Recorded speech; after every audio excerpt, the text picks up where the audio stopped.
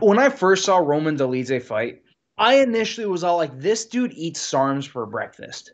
Like this dude looks like he is not afraid of needles and this and that. Maybe I'm wrong. You know, if I'm if I'm casting aspersions towards someone that's clean, you know, I, I apologize. But I remember when he fought Phil Hawes and he just made it look so easy. And Phil is legit. I used to train with Phil, and that guy's amazing.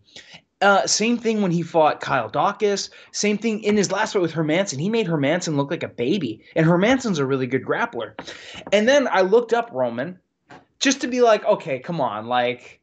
I just just out of steroid out of uh, sorry out of curiosity I googled Roman Dolidze steroids just to see like okay is anyone like on the same page as me? He got popped before his UFC debut.